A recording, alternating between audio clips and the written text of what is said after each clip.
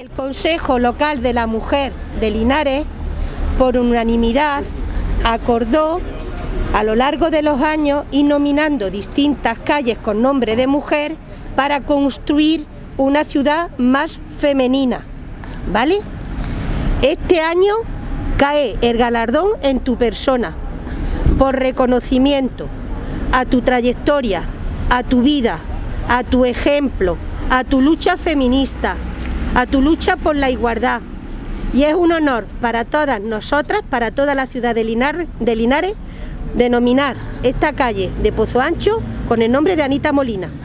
¿Vale? Muchísimas gracias. Nada, ahora Para ya mí- sí, mira, Para mí es una satisfacción el que haya acordado todas en mí y que yo sea aquí la, la primera.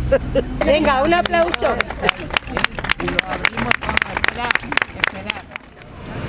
Tienes que tirar para allá.